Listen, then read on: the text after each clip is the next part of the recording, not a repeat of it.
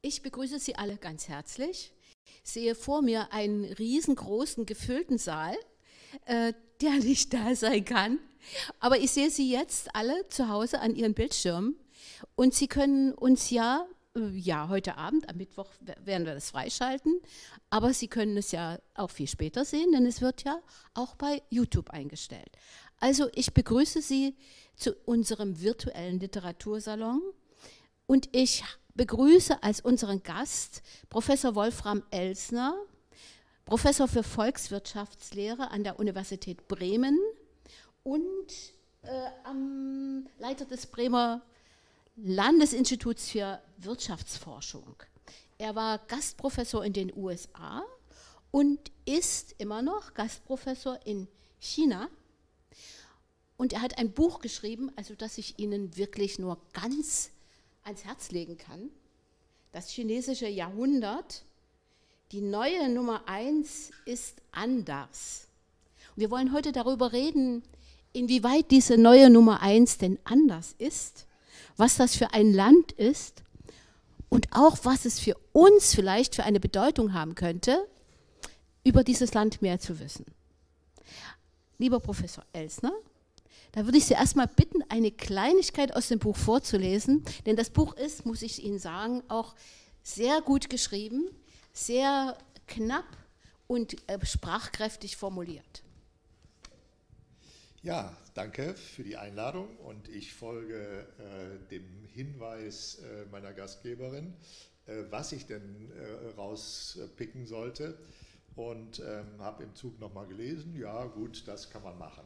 Also, Hintergrund ist, ähm, ich habe eine lange Geschichte mit mir selbst als Vertreter einer bestimmten Generation, die ähm, nach 68 erstmal auch China ganz weit weggeschoben haben, äh, weggeschoben hat.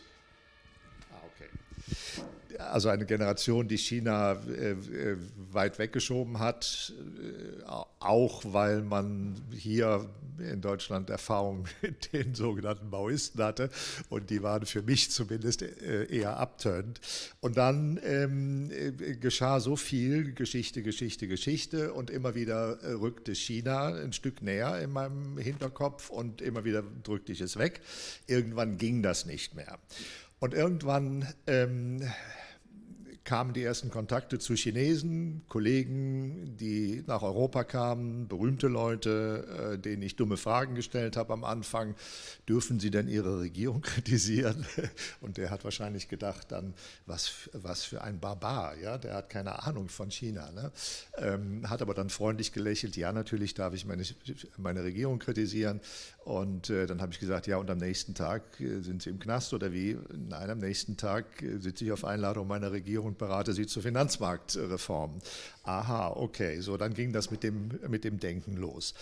Äh, das Ende vom Lied im Jahr 2014, ich hatte selber schon chinesische Doktorandinnen, Doktoranden und Mitarbeiter, ähm, äh, war dann meine erste eigene Reise äh, nach China und von da ab äh, äh, kontinuierlich, mehrfach im Jahr, äh, entwickelte sich eine berufliche Kooperation, wo ich äh, Schulen, Sommerschulen organisierte für chinesische Doktorandinnen und Doktoranden. So.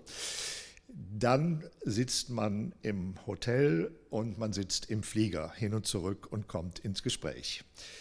Jetzt dieser Text. Gespräche im Flieger auf dem Rückweg von China. So bin ich nun seit einigen Jahren regelmäßig beruflich in China. Ich komme mit beruflich Reisenden im Hotelaufzug oder der Lobby ins Gespräch, erfahre über ihre Kooperationsbeziehungen mit China. Im Flieger zurück nach Hause erfahre ich meistens noch mehr. Man sitzt eben ein paar Stunden nebeneinander und hat mal eine halbe Stunde Zeit zum Reden. Ich frage wieder Löcher in Bäuche und lasse mir aktuelle Erfahrungen, aus, äh, Erfahrungen und die, jeweiligen die jeweilige Kooperationsgeschichte erzählen. Und die Erfahrungen ähneln sich. Und das sind auch meine gewesen und sind immer noch meine. Man ist meist begeistert über die Offenheit, Lernfreude und Flexibilität der chinesischen Partner, die Kooperationsbereitschaft und ihre Suche nach Win-Win-Situationen über die Geschwindigkeit des Wandels und die Leichtigkeit, mit der neue Lösungen gefunden werden. Da wird der deutsche Techniker oder Ingenieur schon mal nachdenklich bis wütend über seine eigene Firmenhierarchie und der Mittelständler über seine eigene Regierung. Beide kommen hier nicht mehr mit. Zitat, jetzt muss ich denen zu Hause die neuen Lösungen erklären, meint der Konzerntechniker und warte wieder Monate auf das Go von oben. Und dann frage ich mich und die anderen, was ist da anders in der tiefen Struktur? Was bedeutet das konkret in der Einstellung, im Handeln, in den Erwartungen und Motivationen der Menschen, dieses andere System? So sind wir dann also beim Systemischen. Die bei uns bekannten vielfältigen Zukunftsängste sind den Chinesen fremd. Eine soziale Sicherheit gepaart mit Erwartung von Aufstieg, Einkommens- und Wohlstandssteigerung, Anerkennung, Arbeitsrechten und der Zuversicht, dass wenn sich dieser Arbeitsplatz ändert, er auch anders qualifiziert und interessant bleiben und weiterhin mit steigendem Einkommen verbunden sein wird. Andernfalls man eben eine Reihe anderer beruflicher Möglichkeiten hat. Hört sich nicht wirklich nach Diktatur und grauem Sklaventum an. Wir werden dazu noch berichten. Auch chinesisches Wachstum wird natürlich kein unendliches Wachstum sein, weil es unendliches Wachstum auf einem begrenzten Planeten nicht geben kann. Aber das Wachstum von Innovationsfähigkeit, Wohlstand und Lebensqualität durch soziale Sicherheit und offene Strukturen, ähnlich wie früher Schwedens Flexicurity, sowie durch ein Mindestmaß an Kollektivität und nationaler, sozialer und öffentlich-regulatorischer Einbettung könnte sich verstetigen lassen, unabhängig von quantitativem, extensivem und ressourcenverbrauchendem Wachstum. Die Leser dieses Buches werden am Ende diese Aussichten für die neue Nummer 1 besser beurteilen können. Ja, das Buch ist ja schon vor einem Jahr erschienen und als ich es damals in der Hand hatte, da habe ich gedacht, oi, die neue Nummer 1, na, das ist ja aber eine gewagte Feststellung. Diese, das finde ich jetzt überhaupt nicht mehr. Ich, jetzt pfeifen es ja schon die Spatzen von den Dächern dass es die neue Nummer eins ist. Und Leute, von denen man es gar nicht erwartet, die sagen das. Wie sind denn Ihre Erfahrungen, was das Leserecho betrifft? Ja, das ist immer wieder das Thema. Äh, wie kommst du zu dieser steilen These, dass wir da eine Nummer, eins haben? Ja, das ist ja äh, ein Land, das gerade noch äh, vorgestern in unseren Köpfen eines der ärmsten Entwicklungsländer war und als solches ja auch gestartet ist 1949. Ja, also formal war es so, da muss ich dann als Ökonom argumentieren, seit 2016 äh, ist China die Nummer eins beim Sozialprodukt. Ja, das Sozialprodukt, das international von der Weltbank und vom Internationalen Währungsfonds dann gemessen wird und verglichen wird zwischen den verschiedenen Ländern, wird dann unter anderem nach sogenannter Kaufkraftparität verglichen. Ja, das heißt, man rechnet die Währungen um in eine einheitliche Einheit und schaut dann nach einem vergleichbaren Warenkorb, was können sich die Menschen in diesem Land äh, für dieses Sozialprodukt kaufen. Und äh, für das Sozialprodukt Chinas können sich die Menschen in China eben seit 2016 am meisten kaufen, also mehr kaufen als, äh, als vergleichbar, als vergleichbar die USA als nächstgrößtes im Moment mhm. äh, Sozialprodukt. Ne? Was nicht heißt, dass äh, das Gleiche jetzt pro Kopf gilt. Ja? Pro Kopf äh, ist China vom, vom pro Kopf Einkommen oder Sozialprodukt pro Kopf ähm, äh, immer noch unter ferner liefen und gerade eben erst eigentlich aus dem, aus dem Bereich, wenn man jetzt nach der Weltbank-Kategorisierung geht, aus dem Bereich der, äh, der Entwicklungsländer, der ärmeren Entwicklungsländer in den Bereich der Länder mit mittlerem Einkommen aufgestiegen.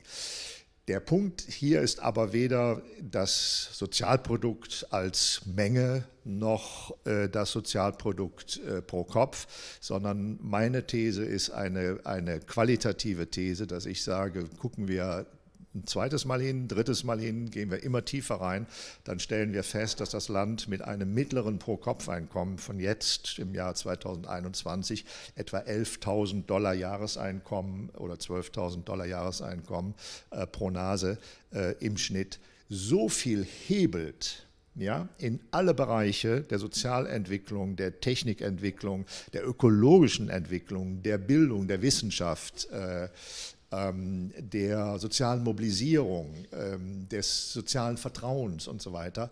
Da sind solche Hebelgrößen von relativ wenig materiellem in große Leistungen und große Fähigkeiten und große Kapazitäten, was das, was das gesellschaftliche Handeln betrifft, äh, die sind eben einmalig. Und da sage ich eigentlich, mich interessiert letztendlich das Sozialprodukt nur in zweiter Linie. Ähm, auch in normaler Währungsparität wird, wird China in den nächsten zwei, drei Jahren äh, beschleunigt durch Corona äh, die Nummer eins sein. Aber das interessiert mich in zweiter Linie. Das ist in, in, zweiter Linie interessant. In erster Linie ist interessant, was dieses Land daraus macht. Und das ist eben das eigentlich Faszinierende. Na, das Faszinierende ist ja, äh, hier war ja mal DDR. Die DDR ist kaputt gegangen. Äh, die Sowjetunion ist auseinandergebrochen. Äh, das ganze System von Staaten, äh, die versucht haben, eine gerechte Gesellschaft aufzubauen, ist gescheitert. Und China wird nach wie vor von einer kommunistischen Partei regiert. Und es funktioniert. Und man fragt sich, wie funktioniert das? Und da wird, sagt man dann hier, manche Leute sagen, naja, das ist ja in Wirklichkeit keine kommunistische Partei, sondern das ist da ein, die haben eine Art ganz heftigen Kapitalismus. Aber es ist ja die kommunistische Partei. Wie können Sie das erklären? Ja, und es ist eine kommunistische Partei, die eine der ältesten und erfahrensten der Welt ist und die von allem, was wir hier in Europa zum Teil falsch gemacht haben, zum Teil aber auch die Sowjetunion natürlich unter ganz anderen, viel, viel schlechteren Bedingungen sozusagen existieren und überleben musste gegen einen viel, viel stärkeren Feind, der sie am Ende niederkonkurriert hat. Daraus, aus alledem, aus den schlechten Bedingungen, aus den aber auch Fehlern, die gemacht worden sind im europazentrierten äh, äh, Sozialismusmodell, ähm, hat diese Partei gelernt. Mhm. Ja, also ich mhm. glaube, also je mehr ich mich damit beschäftige, desto faszinierter bin ich. Für mich ist das ja relativ Neuland. Ich habe mich nie als äh, Maoist oder, oder China-Experte verstanden. Das ist für mich ja alles noch äh, relativ neue Dinge, die sich langsam erst sozusagen in den letzten sechs, sieben Jahren äh, setteln. Und jetzt in den, in den, letzten zwei, drei Jahren schreibe ich an, an Büchern über China. Äh, und dann äh, verdichtet sich allmählich, äh, was da eigentlich passiert ist und wie sehr diese Partei mit ihren jetzt inzwischen 90 Millionen Mitgliedern gelernt hat äh, und dass sie auch, ähm, dass sie einen, einen Sozialismus aufbaut, der nicht mehr äh, niederkonkurriert werden kann, der weder totgerüstet werden kann noch finanziell kaputt gemacht werden kann. Das ist eben das, was die Chinesen gelernt haben.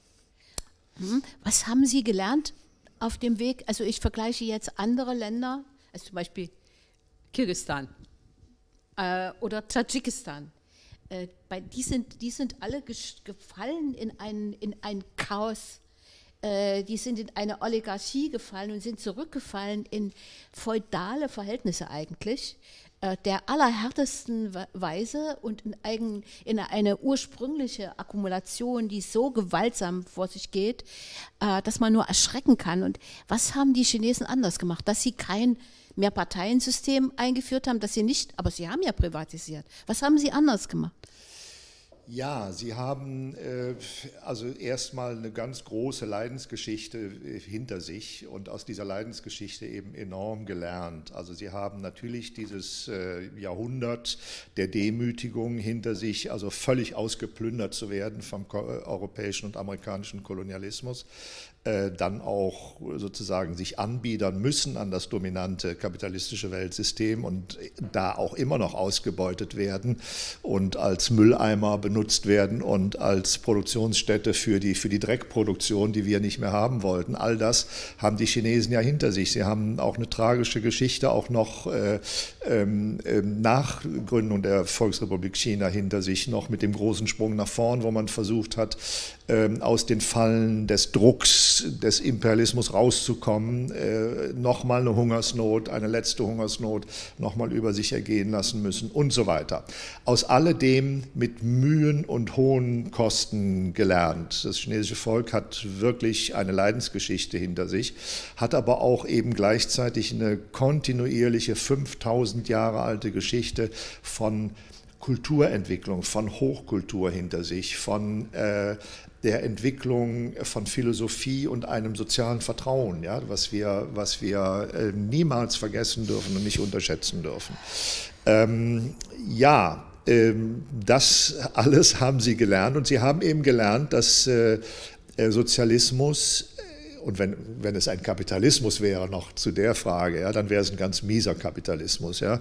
Ein Kapitalismus, der also überdurchschnittliche Lohnsteigerungen äh, organisiert, der äh, die Profitraten reduziert. Ja. Die McKinsey sagt uns ja nun alle paar Wochen mal in den Newslettern, die ich von McKinsey bekomme, dass die chinesischen äh, Profitraten unter dem Weltdurchschnitt liegen, ja, was natürlich die westlichen äh, Spekulanten bedauern und was McKinsey auch bedauert, aber der Hintergrund ist natürlich, dass die Kapitalisten in China nicht machen können, was sie wollen, sondern eingebettet sind, vorsichtig gesagt, und eben auch gezwungen werden, in die Infrastrukturen zu investieren und zum nationalen Entwicklungsweg beizutragen. So, was sie gelernt haben, eben, um darauf zurückzukommen, ähm, Sozialismus, und das ist Deng Xiaoping, ja, den ich früher für, für, für, also sozusagen nicht ansatzweise ernst genommen habe und gesagt, dieser, dieser verrückte Blödmann, ja, Katze, ist egal, welche Farbe die Katze hat oder so, ne, das äh, äh wurde uns, äh, kam uns westlichen Intellektuellen ja natürlich sehr, sehr schräg vor. So ein blöder Pragmatiker, ja, der hier jetzt die Marktwirtschaft und den Kapitalismus einführt. Nein, das, der war natürlich viel, viel schlauer, viel klüger und äh, über Deng Xiaoping habe ich vieles nachgelesen inzwischen und habe allergrößte Hochachtung. Der Punkt ist da gewesen, die Erkenntnis, Sozialismus ist eben kein Armutssystem. Ja?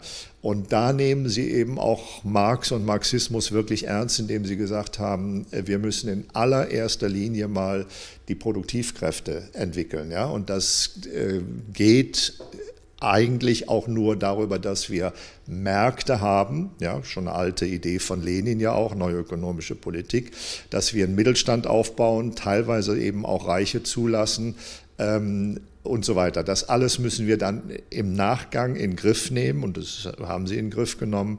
Ähm, aber es müssen erstmal massiv die Produktivkräfte entwickelt werden. Das ist ihnen deutlich gelungen und es ist ihnen dabei eben auch gelungen, das nenne ich den Ritt auf der Rasierklinge, ja, deutlich auch gelungen, äh, niemals ähm, die, die Zielrichtung der, der fortschrittlichen nationalen Entwicklung aus den Augen zu verlieren. Also da hat die chinesische kommunistische Partei einen Kompass, einen historischen Kompass, der also mich persönlich äh, extrem beeindruckt. Ich habe mich nie als Marxisten äh, bezeichnet oder verstanden. Aber ich muss sagen, ähm, wenn ich Marx gelesen habe, dann sehe ich hier, dass die Dialektik von, von Produktivkraftentwicklung und Produktionsverhältnissen tatsächlich äh, gelungen ist, was ich vor 10, 15 Jahren vielleicht noch gar nicht äh, gewagt hätte auszusprechen. Wir sind hier, äh, glaube ich, in einem Modell, das, ein, das eine, Hoff eine Hoffnung für die Menschheit be bedeutet im Moment. Ja, also ich weil Sie das gerade sagen, Dialektik, Produktivkräfte, Produktionsverhältnisse, man muss ja das, den Zusammenbruch äh, des sozialistischen Versuchs in Europa auch danach beurteilen, dass eben die Produktivkräfte, äh, die Produktion, also die äh, Produktionsverhältnisse, die Produktivkräfte nicht genügend stimuliert haben. Ja. Und äh wir sind eigentlich äh, gescheitert, völlig im Sinne der marxistischen Lehre so gemein wie das ist. Ja? Ja, kann man sagen. Also die Bedingungen, die Weltbedingungen waren natürlich äh, massiv schlechter, ja. als sie heute für ja. China sind. Und für China und seine Partnerländer, also es sind ja 140 Partnerländer bei der, bei der äh, neuen Seidenstraße, der, die große strategische äh, ähm, Allianz mit Russland ist auch nicht, äh, auch nicht ohne Bedeutung, sondern von sehr, sehr großer Bedeutung. Ähm, das alles hatte die Sowjetunion ja nicht. Ja? Die Bedingungen waren extrem viel schlechter und der Kapitalismus war viel aggressiver und viel mächtiger. Er hatte unendlich viel Geld und konnte, konnte den Sozialismus äh, ökonomisch kaputt machen. Das geht nicht mehr. Ne? Ähm, das ist so. Ähm, aber tatsächlich, wie Sie sagen, es ist sehr, sehr wichtig zu sehen, dass der, der europazentrierte Sozialismusversuch eben auch, auch gescheitert ist an einem Mangel an Motivation für die Menschen. Ja. Ja? Wenn ich heute sehe, wie begeistert und selbstverständlich und gelassen und äh, witzig und lächelnd äh, die Chinesen sozusagen ihren Weg gehen, ja? wenn ich amerikanische Universitätsstudien sehe, die in China seit 30 Jahren äh, Vertrauen erheben, ja? Ähm, und dort sehe, dass das Vertrauen äh, enorm gewachsen ist wieder, ja, gerade auch nach der Korruptionsbekämpfung der 2010er Jahren, Jahre, äh, dass das Vertrauen in die Regierung äh, gewachsen ist, dass die großen Marketinggesellschaften der Welt, die also international das Glücksempfinden der Menschen äh, erheben. Ja? In 2020 in ihrem Report China als das glücklichste Land der Welt bezeichnen. Ja? Das ist ja alles für uns unfassbar. Unfassbar. Ja, ja.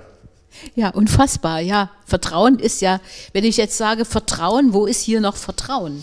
Das äh, findet sich ja auch hier schon gar nicht mehr. Bestenfalls bei äh, sehr gläubigen Menschen als Gott vertrauen. Aber mhm. ansonsten Vertrauen in äh, den Staat, in Parteien, äh, in das eigene Unternehmen, das ist echt ein Problem. Ja. Äh, es gibt da so ein schönes Zitat bei Ihnen im Buch. Äh, China wird nicht vom kapitalistischen Tiger geritten, es reitet den kapitalistischen Tiger. Wie geschieht das konkret? Sie sprachen ja von einem äh, eingebetteten Kapitalismus, äh, den eingebetteter Liberalismus, das habe ich auch bei Andreas Reckwitz gelesen. Das find, find, kennen Sie das? Nein. Ja, interessant. Also ja, äh, die Frage, wie, wie sich hier der Kapitalismus entwickeln muss und was da mhm. passieren wird. Ja, gut, aber davon abgesehen, erstmal zu China. Ähm, wie passiert das? Wie kann man den äh, kapitalistischen Tiger reiten, ohne dass der beißt?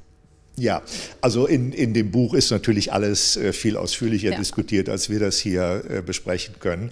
Ähm, das Stichwort ist zum Beispiel Märkte. Ne? Also ich ähm, sage immer wieder in dem Buch auch und zeige das ja auch an vielen Beispielen aus der, aus der Wirtschaftspolitik und Industriepolitik und so weiter.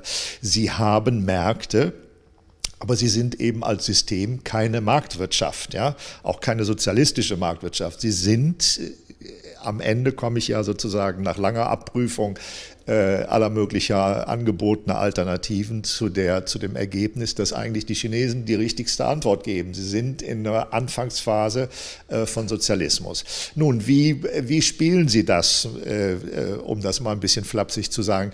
Ähm, Sie spielen das so, dass Sie, dass Sie Märkte haben, mit denen sie sozusagen sehr flexibel umgehen. Ja. Im Kern wird vom Markt verlangt, dass er ein Instrument ist. Ja. Genau das, was Adam Smith vor, vor äh, mehr als 200 Jahren, 1776, Wealth of Nations, äh, als Idee hatte. Märkte sollen Instrumente sein zur Verbesserung der, der Wohlstandssituation der Menschen. Ja, das ist ja hier im neoliberalen Kapitalismus völlig abhandengekommen. Märkte sind Selbstzweck und sind Ideologie und Religionsersatz und äh, werden laufen gelassen. Ja? Und das bedeutet natürlich, der Markt ist, wenn man ihn laufen lässt, ein äh, Instrument, das sich schneller degeneriert, als, als wir zugucken können. Ja? Rucki zucki haben wir Oligopole und Oligarchen und so weiter. Ja? Und dann haben wir, haben wir Multimilliardäre, die die Politik kaufen und Ende der Geschichte. Ja? Und in der Situation sind wir jetzt. Und das wird der, der der neoliberale finanzialisierte Kapitalismus hier nicht mehr in den Griff bekommen. Das äh, ist die eine Prognose, die mir also äh, ganz klar zu sein scheint. Äh, dieses System ist an seinem Ende und zerfällt, ja, während das chinesische System eben in dieser äh, wunderbaren äh, chinesischen Flexibilität im Umgang mit Märkten einerseits reguliert, Rahmenbedingungen schafft, ihr habt das und das zu beachten. Das und das sind unsere Ziele. Ja. Da gibt es jetzt den neuesten, den 14. Fünfjahresplan, ein Mobilisierungsinstrument, das große Ziele formuliert. Ja. Sagt, in die Richtung wollen wir. Ja. Nicht top-down im Detail vorschreiben, die großen Ideen. Da wollen wir hin. Ja? Und das wird dann konkretisiert und diskutiert und, und, und sukzessive jedes Jahr nachgebessert und gelernt. Ja? Es wird experimentiert in dem Rahmen. So, und den Märkten wird vorgegeben, in die Richtung habt ihr zu gehen. So, und jetzt probiert mal. Ja? Der berühmte chinesische Experimentalismus, der jetzt überall in der Literatur plötzlich auftaucht, wo alte Sinologen plötzlich sagen, ja, das haben wir euch doch schon immer gesagt, habt, ihr habt uns nicht gelesen. Ja? Äh, die Sinologen wussten das. Sie sagen, der chinesische, bei den Sinologen habe ich gelernt, ist der chinesische Experimentalismus. Ja? Mal was ausprobieren, laufen lassen, gucken, lernen, nachbessern und so weiter. Ja? Das ist das Prinzip, was wir hier im Prinzip gar nicht mehr können, ja, leider. Jedenfalls nicht als staatliches System. So lassen Sie eben beispielsweise hunderte von kleinen und mittleren Unternehmen E-Mobilität entwickeln. Ich habe das ausführlich als agile Industriepolitik ja beschrieben. Ähm, lassen ähm, äh, E-mobile, dreirädrige, ähm, vierrädrige, einsitzige, zweisitzige kleine Dinger zu, lassen die, die Mofas, die Fahrräder, die E-Fahrräder und das alles wird, wird gebaut, erstmal ohne Lizenzen, da wird experimentiert. Ähm, das wird ein paar Jahre lang laufen lassen. Man lernt und lernt und lernt, auch der Staat lernt. Ja? Und irgendwann wird gesagt, so jetzt sind wir an einem Punkt, wo wir konsolidieren können. Ja? Und dann werden die technologischen Standards gesetzt. Bis dahin dürfen die auch nicht auf der Straße fahren, diese Vehikel. Ne? Autos kann man gar nicht sagen, das sind kleine Minilaster für die Bauern und so weiter. Ne? Ähm, so, und dann plötzlich die Standards da, also ihr habt die, die Elektromotoren, ihr habt die Batterien und so weiter so und so zu machen und äh, technische Sicherheit. Und dann plötzlich, und da war ich ja leider 2019 das letzte Mal in China, plötzlich sehe ich die Dinger, die ich bisher sozusagen in der Literatur als Bilder gesehen habe, sehe ich sie in Beijing auf der Straße fahren mit Nummernschild und jetzt sind sie da. Ja? Und ich hatte ein Jahr vorher die äh, tolle Geschichte erlebt, wo ganz China darüber gelacht hat. Die, die Großen, die haben ja zwölf äh, große äh, Autokonzerne, äh, die alle mit westlichen Autokonzernen sozusagen in Joint Ventures sind, ähm, was die westlichen Autokonzerne ja auch wollen und, und auch gar nicht aufgeben. Jetzt, wo sie es aufgeben könnten, bleiben sie dabei, äh, weil sie inzwischen genauso viel lernen wie umgekehrt. Ähm, und die gingen also zur chinesischen Regierung und beschwerten sich in diesem Sommer, wo ich da war. Ich las das in der, in der China Daily und bekam das aber auch sofort von allen Gesprächspartnern erzählt als tolle Story. Ähm, und die sagten, ja, aber guckt mal hier, diese ganzen hunderte von kleinen und mittleren Unternehmen, die, die klauen unsere Patente. Ja, die nutzen unsere äh, Kondensatortechnologie oder unsere, unsere Relais-Technologie oder unsere Batterietechnologie. Äh, chinesische Regierung verhindere das. Und dann kam die Antwort der chinesischen Regierung, gesagt, wenn die euch Patente klauen, dann redet mit denen. Ja, das, ihr müsst sozusagen mit denen klarkommen. Das ist nicht unser Thema im Moment. Ja. Äh, Information, dann der letzte Satz, das war herrlich. Informationen müssen fließen. Ja? Das heißt, das gesamte Patentsystem in China ist auch ein anderes. Ja? Das äh, sorgt dafür, dass nicht ein Großkonzern ein Patent aufkaufen kann und wegschließen kann, um sich eine Monopolposition zu sichern, sondern das ist viel, viel reduzierter. Es gibt eine Lizenzpflicht ja, und es gibt eine, eine zeitliche Begrenzung natürlich für das Patent. Und das war herrlich. Nicht? Und das ist genau typisch, wie man eben umgeht damit. Es muss fließen, es muss ein Informationsaustauschprozess da sein und es muss Dynamik da sein. Und in dieser Dynamik kann man über alles miteinander verhandeln, aber keine Monopolposition. Ja? Und das ist ja jetzt um das aktuelle Beispiel mit, mit Alibaba und diesem, diesem, äh, äh, diesem Prozess, wo der, wo der äh, Börsengang da kurzfristig abgesagt worden ist. Ganz klar antimonopolistische Politik. Mhm.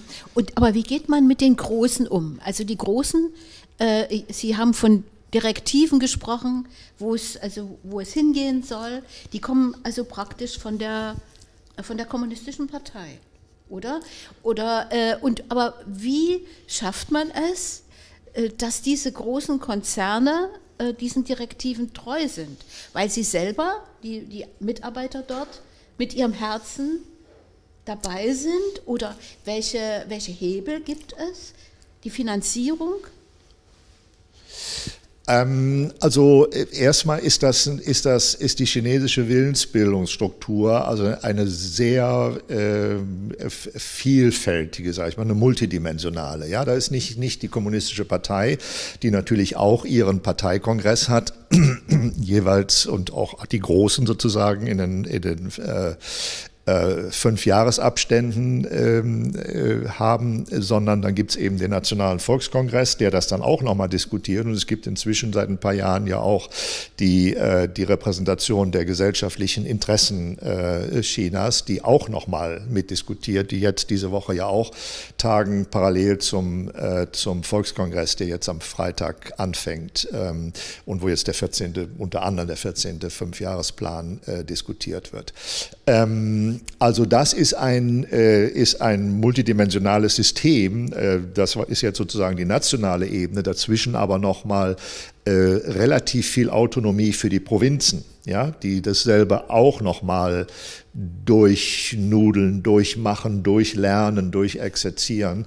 Ähm, und die Kommunen auch. Ja? Also eine Stadt wie Shanghai äh, ist, ist eigentlich selber nochmal ein großer Apparat, der, der lernt und experimentiert. Ja? Genauso wie mit den Sozialkreditsystemen. Es gibt ja nicht ein Sozialkreditsystem, sondern es gibt 20, 30 Sozialkreditsysteme, gar nicht flächendeckend in ganz China, sondern einzelne Städte machen das, einzelne Provinzen machen das, einzelne äh, äh Dörfer machen das.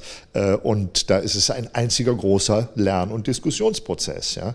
Ähm, so, und genau so ähm, äh, wird das, wird das äh, äh, sozusagen, ist das sozusagen auf den regionalen Ebenen ein, ein differenziertes System, wie auch äh, ein System der verschiedenen, der verschiedenen, äh, auf der nationalen Ebene der verschiedenen Akteure, ne? Volkskongress und die gesellschaftlichen Interessenvertretungen äh, bis runter zu den Shekus, also den, den Wohngebietsgruppen, alle diskutieren. Ja? In China wird enorm viel diskutiert. Ja? Äh, und sehr, sehr heftig und sehr freundlich und sehr solidarisch auch diskutiert, so wie ich das wahrnehme. Ja, also das ist trotzdem erstaunlich, äh, weil nämlich die Erfahrung hier besagt, wenn es sehr viel Diskussion und sehr viel Gerede gibt, da kommt überhaupt nichts zustande. Äh, es muss ja trotzdem eine, es muss ja trotzdem irgendwie eine Leitung geben, wie man das wieder zusammenfasst. Ja, es ist eben genau diese Dialektik ne, von gehen lassen und, und konsolidieren und Standards setzen und Entscheidungen treffen. Ähm, äh, kleines Beispiel mit den, mit den Sozialkreditsystemen. Ähm, äh, da hat die Regierung äh, 2014 äh, beschlossen, wir müssen was tun an den Verhaltensweisen. Ja? Wir müssen sozusagen jetzt endgültig die Phase dieses wilden Ostens, 80er, 90er Jahre, wo äh, wir haben laufen lassen, überwiegend, das müssen wir jetzt überwinden. Und was zu ganz schlimmen äh, äh, Verhaltensweisen geführt hat und Kriminalität im Finanzsektor, in diesem informellen Finanzsektor und so weiter, äh, Korruption ohne Ende und so. Und da müssen wir mhm. jetzt was dran tun. 2017 hat der damalige äh, ähm, Staatspräsident gesagt, wenn wir an der Korruption nicht etwas ändern, dann, dann äh, ist unser System äh, kaputt. Und mhm. das wäre wahrscheinlich auch so mhm. gewesen. Und seit 2012 in der Ära ähm, äh, Xi und Li, also der Ministerpräsident Li, ähm, äh, ist da massiv äh, was passiert. Also ich weiß das selber, wie plötzlich die chinesischen Kollegen oder Studentinnen und Studenten und Doktoranden, Doktoranden ankamen und sagten, äh, guck mal, man hat uns endlos lange erzählt, äh, dass an der Korruption etwas gemacht wird. Nie haben wir was gemerkt, haben die älteren Kollegen erzählt. 30 Jahre lang hat man uns das erzählt, wir haben nichts gemerkt. Ja. Jetzt merken wir was. Jetzt geht es voran mit der Korruptionsbekämpfung. Ne? Und ähm, daran knüpften dann 2014 knüpfte die Entscheidung der Regierung an, äh, Sozialkreditsysteme experimentell einzuführen. Ja? Also Aufruf an die, Regier an die Provinzregierungen, an die Stadtregierungen, äh, versucht mal was. Ne? Ähm, und dann war damals gesagt worden, 2014, im Jahre 2020 ähm, äh, führen wir dann ein national einheitliches System ein. Ne?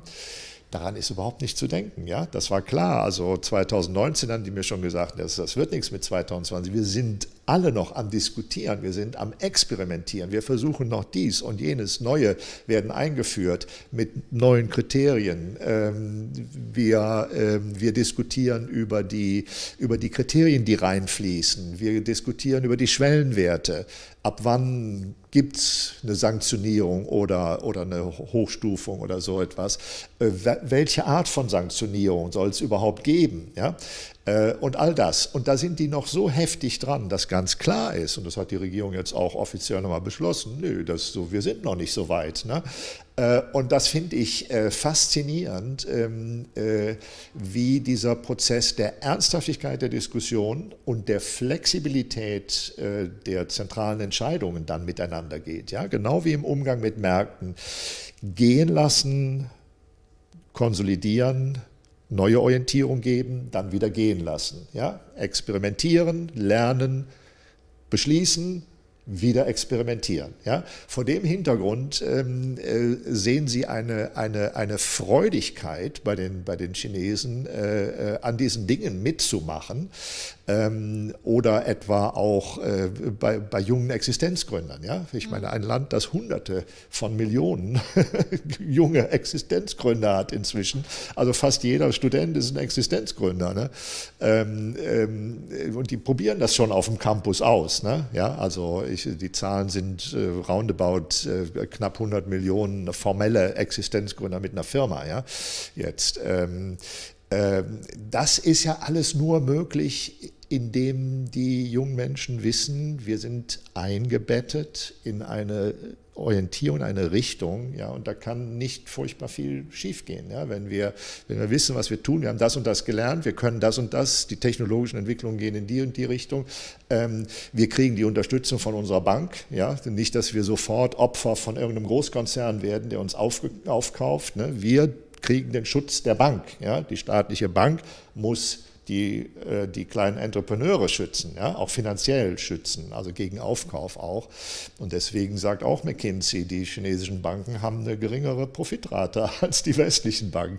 Also das ist alles eine, eine sehr faszinierende äh, Dynamik, die da äh, äh, losgetreten und entwickelt wird, wo man sagt, kombiniert mit allen Faktoren, die man sieht, Ausbildung der Leute, das soziale Vertrauen der Menschen untereinander, das Vertrauen in die Regierung als letztes, aber auch das Vertrauen jetzt, dass, äh, dass die Korruption ernsthaft äh, äh, in die Schranken gewiesen ist und, und, und, und weggeht, dass, dass man überall sieht, wie die Verhaltensweisen sich modernisieren, zivilisieren. Essen, ja, das Hundeessen ist weg, das, äh, der, der, äh, der Handel mit, mit Wildtieren äh, weg, äh, ähm, weiß ich nicht, die Wale werden aus den, aus den Zoos äh, jetzt über NGOs freigelassen und ins Meer gelassen. Gibt es äh, südlich von Alaska da jetzt so eine, so, eine, so eine Gegend, wo die Wale jetzt unter Kontrolle ausgesetzt werden. Denn wenn Sie einen Wal aus, aus dem Zoo rausnehmen, der würde in der Freiheit natürlich äh, äh sterben. Und solche Dinge, wo ich sehe, äh, meine Güte, wo ich hingucke, sind NGOs in, in, in China aktiv ja, ähm, und, und sind begeistert über das, was in China plötzlich möglich ist. Ja ähm, auch Ideen, ja, die wir uns gar nicht vorstellen könnten, ja, äh, wie Wale freilassen oder, oder so etwas. Ne? Ja, es ist äh, erstaunlich, was Sie sagen, ja, äh, weil äh, ähm, man fragt sich eben, äh, wenn die Möglichkeit besteht, reich zu werden, die besteht ja, wie lässt sich dann verhindern, dass die Leute nicht bloß ein ganz normales Leben wollen, sondern dass sie dann in den Luxusbereich und in die äh, ja, in einen Bereich, wo es schon richtig unanständig wird, ja, gehen. Genau. Also wie, wie kann man das verhindern? Wie kann man, steht da nur die Kultur entgegen, die da offenbar viel stärker entwickelt ist als hier?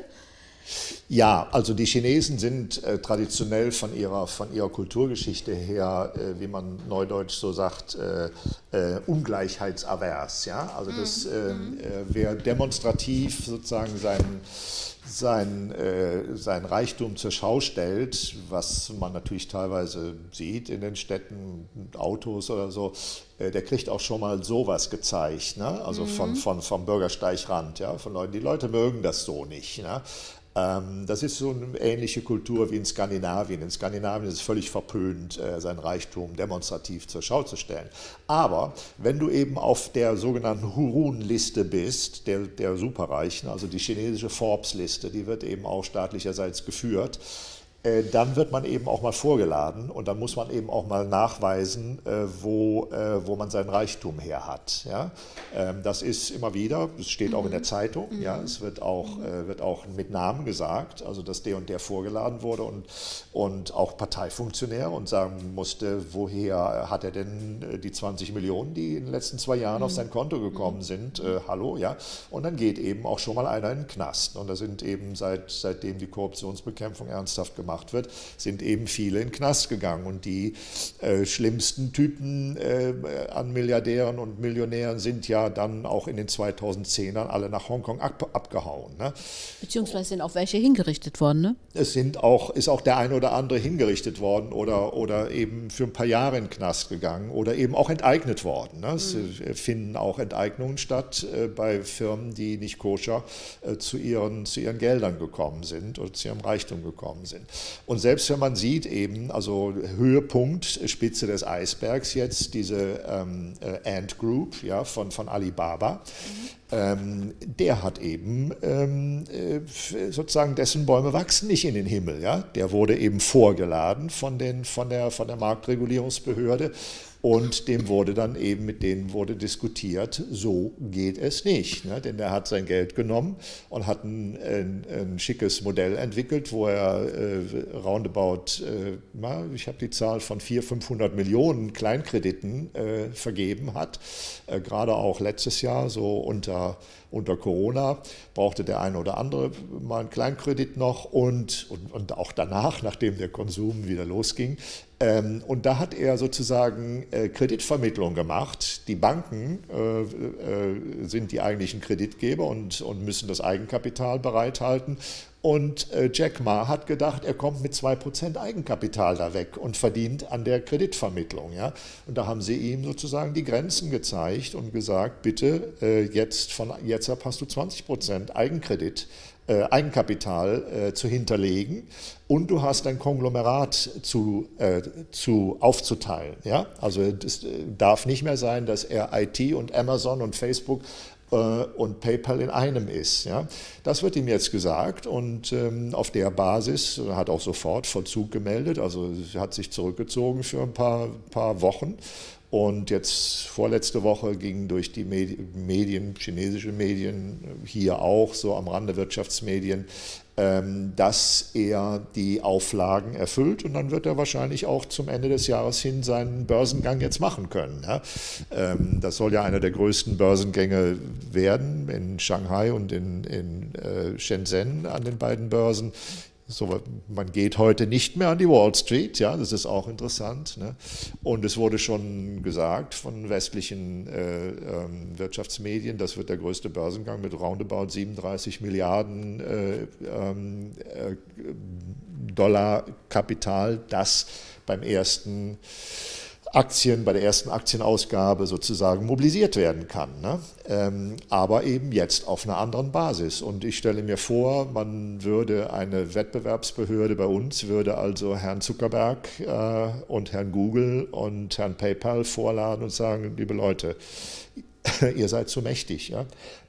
Äh, Zuckerberg, gib mal bitte deine, deine ähm, Libra-Aktivitäten äh, auf, ja, nämlich Geld auch noch äh, also äh, E-Currency, so ähm, äh, Kryptogeld äh, zu machen, eine Kryptowährung zu machen. So viel antimonopolistische äh, Fähigkeit hat unser Staat nicht mehr. Ja? Also wir, wir warten ja darauf, dass Google ähm, oder äh, Facebook äh, reguliert werden. Ja? Äh, stattdessen kriegen die noch mehr Macht von uns, indem sie jetzt die ganze Zensurorgie dürfen die nämlich jetzt machen. Ja? Die dürfen entscheiden, wer seine Meinung im Netz sagen darf und wer nicht. Ja? Das ist in China natürlich überhaupt nicht möglich. Ne? Das ist interessant, weil äh, also die, die, die, die das ist interessant, weil äh, man immer in marxistischer Lehre davon ausgegangen ist, der Staat ist das Machtinstrument der herrschenden Klasse und diese, diese Formel ist auch wiederum sehr lähmend, weil man ja dann der Meinung ist, wenn das Kapital so stark ist, dann kann überhaupt nichts gemacht werden. Dann sitzen wir da und müssen warten und müssen warten. Und äh, hier ist es ja offenbar anders. Hier ist der Staat stark und kann das Kapital regulieren. Aber wie ja, wie haben Sie schon beantwortet. Ähm, aber kann das nicht auch aus dem Ruder laufen?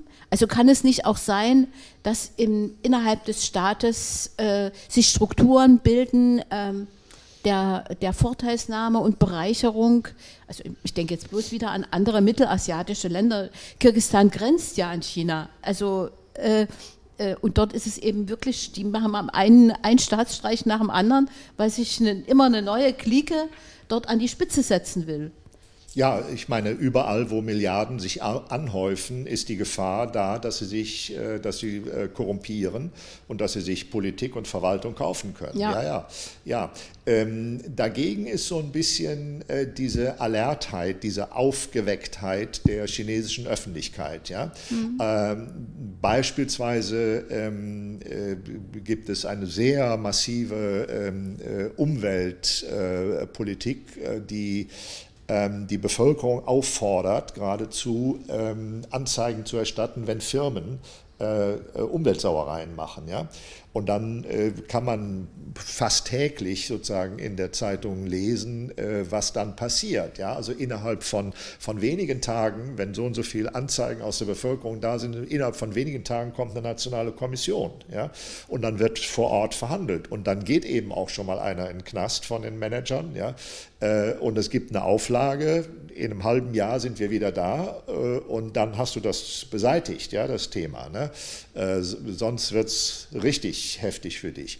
Und ich lese dann so äh, örtliche Dinge, wo sowas passiert, wo dann 3000 Haushalte äh, sich gemeldet haben ja, und gesagt haben, pass auf hier, da ist nachts, wird nachts irgendwas in den Fluss geleitet oder so.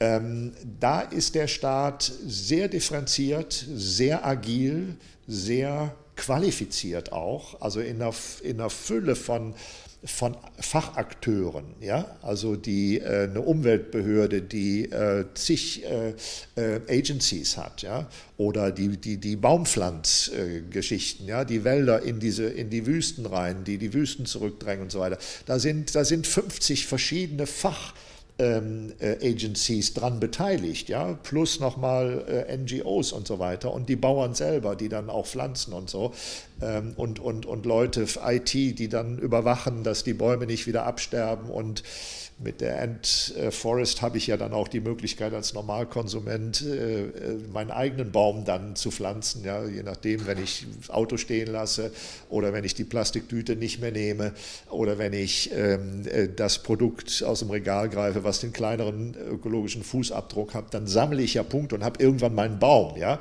ne, über diese Ant, Ant Forest sind ja schon 130 das sind die sozial, Das ist das soziale Belohnungssystem, ja, was es gibt, ja? Nee, das ist nochmal eine ganz andere Geschichte. Ja. Das ist eben so eine, so eine, so eine äh, App, die, äh, die Jack Ma auch sozusagen hm. mitverantwortet, äh, Ant Financial, äh, also eine Tochter der Ant Financial, also des Bezahlsystems, Ant Forest. Ja, darüber kann ich das geht leider auch nur in China und in keinen anderen Ländern, weil die eben die meisten ökologischen Daten haben. Wir haben die Blue Map, die hat jeder auf seinem Handy. Da kann ich sozusagen alle ökologischen Daten meines Ortes äh, abrufen jederzeit. Auf der Basis können Sie eben dann auch sehr schnell feststellen, äh, äh, Sie haben Daten, dass das Produkt im, Supermarkt, im Regal sozusagen, welches das einen kleineren Fußabdruck hat oder eben ich lasse das Auto stehen, fahre mit öffentlichen Verkehrsmitteln und so weiter. Interessant ist übrigens auch noch dann bei diesem ganzen, bei der ganzen, sage ich mal, äh, äh, Feinsteuerung, das war ja ebenso Ihre Frage noch, wie steuern die denn eigentlich sozusagen äh, gegen, den, gegen Missbrauch oder gegen Machtmissbrauch auch, ne? Ähm, ist eben auch die, die eigentlich lustige Geschichte, wie bestraft wird. Ne? Es ist eben so, dass ähm, äh, wird der Unternehmer oder der Manager mal bestraft, ähm, dann ist es nicht in erster Linie Knast. Ja? In den USA habe ich ein kaputtes Verkehrslicht und zufälligerweise die falsche Hautfarbe, ne? dann kriege ich entweder vor Ort direkt die Todesstrafe, die dann auch direkt vollzogen wird, oder ich lande eben im Knast, ja, und dann bin ich in einer, in einer Parallelwelt, in, aus der ich dann sozusagen aus der Kriminalität erst recht nicht mehr rauskomme.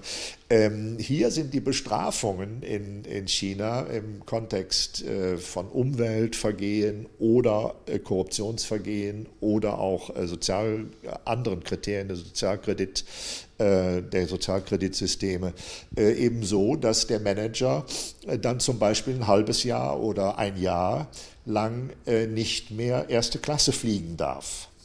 Ja, der muss der Manager zweite Klasse fliegen, ganz normal äh, Economy fliegen. Ja, oder er darf nicht mehr äh, ein Jahr lang nicht oder ein halbes Jahr lang nicht mit dem Bullet Train, muss mit einem langsameren Zug äh, fahren. Ja, das tut Managern richtig weh. Ne? Ja? So, danach ist aber auch die Rehabilitation wieder da. Ne? Also das ist auch das Schöne. Ne? Es ist ein, doch ein bisschen so, ja, es ist ein bisschen so wie Kindererziehung, ne? Ein bisschen.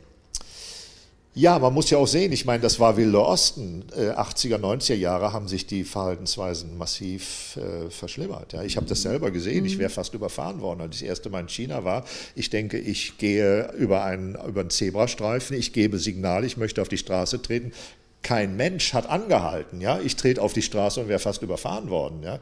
weil, weil kein Autofahrer. Ich habe diesen Menschen, der mir hier ans Knie gefallen ist, ich habe dem dermaßen auf die Motorhaube gehauen. Alle um mich herum haben gesagt, was ist denn mit diesem Ausländer los? Tickt der nicht mehr sauber? Ja? Das war 2014. Ja? 2017, 18 dieselbe, dieselbe Story an der gleichen Stelle. Ja? Die Autos bleiben stehen. Ja? Zehn Meter vorher, wie die Amis jetzt. Ne? Lieber mal zehn Meter vorher schon langsam fahren und bremsen und halten. Okay, hat, bringt doch was. Wunderbar. ja, alles, was Sie erzählen, ist wirklich wunderbar, kann ich sagen. Äh, jetzt habe ich auch gelesen, das habe ich, hab ich das gelesen? Ich glaube bei der russischen Nachrichtenagentur, dass China verkündet hat, dass innerhalb von 40 Jahren 770 Millionen Menschen aus der Not herausgeholt worden ja, sind. Armutsbekämpfung, ja. Die Armutsbekämpfung. Ähm, bei uns wird ja immer von den armen, bettelarmen Wanderarbeitern gesprochen. Wie ist es denn? Ja, das war ein großes Problem. Natürlich, es gab äh, in, der, in der Hochzeit 300 Millionen Wanderarbeiter, die also aus den ländlichen äh, Regionen in die großen Städte an der Ostküste gegangen sind. Ähm, und die, ähm, weil das traditionelle Huku-System, das Registrierungssystem eben nicht richtig nachentwickelt wurde, ähm, hatten die dann an ihren Zielorten sozusagen kein Huku. Die hatten keine offizielle Registrierung.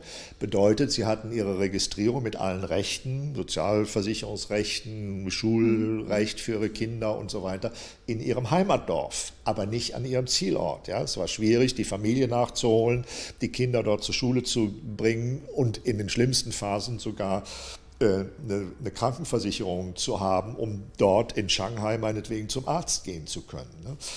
Dieses Huko-System ist inzwischen immer wieder nachgebessert worden. Es ist jetzt äh, eigentlich so, Sie müssen ja auch aufpassen, Sie können nicht äh, einfach jedem Huko geben, dann hätten Sie sozusagen auf einen Schlag 300 Millionen Menschen mehr an den Ostküsten. Das wollen Sie ja auch nicht. Die Verstädterung soll ja auch begrenzt werden ja, und es soll eben das äh, Land entwickelt werden. Inzwischen ist die Zahl der Wanderarbeiter auf unter 200 Millionen gesunken. Das heißt, 100 Millionen Menschen sind zurück in ihre Dörfer. In den Dörfern wird entwickelt. Ähm, da ist das schnelle Internet inzwischen da, da sind die vielen kleinen E-Mobil-Dinger, die Mopeds, die Fahrräder, die, die, die kleinen Kleinstlaster sind da. Das ist alles dort.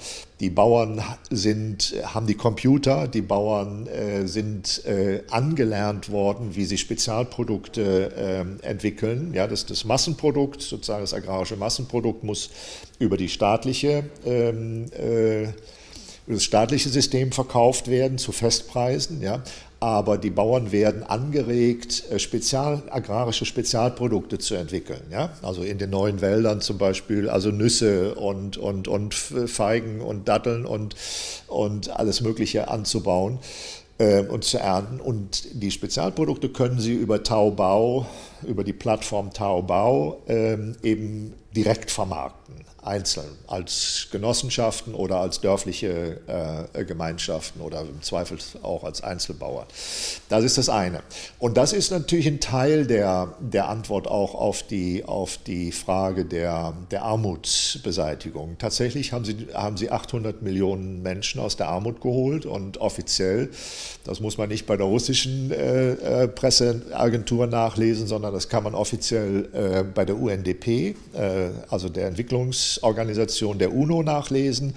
Äh, Presseerklärung im November letzten Jahres ist offiziell äh, ist die Armut in China beseitigt worden. Äh, das ist punktgenau, sollte also zu, äh, zum Jahre 2020, 2021 äh, passieren und ist auch passiert.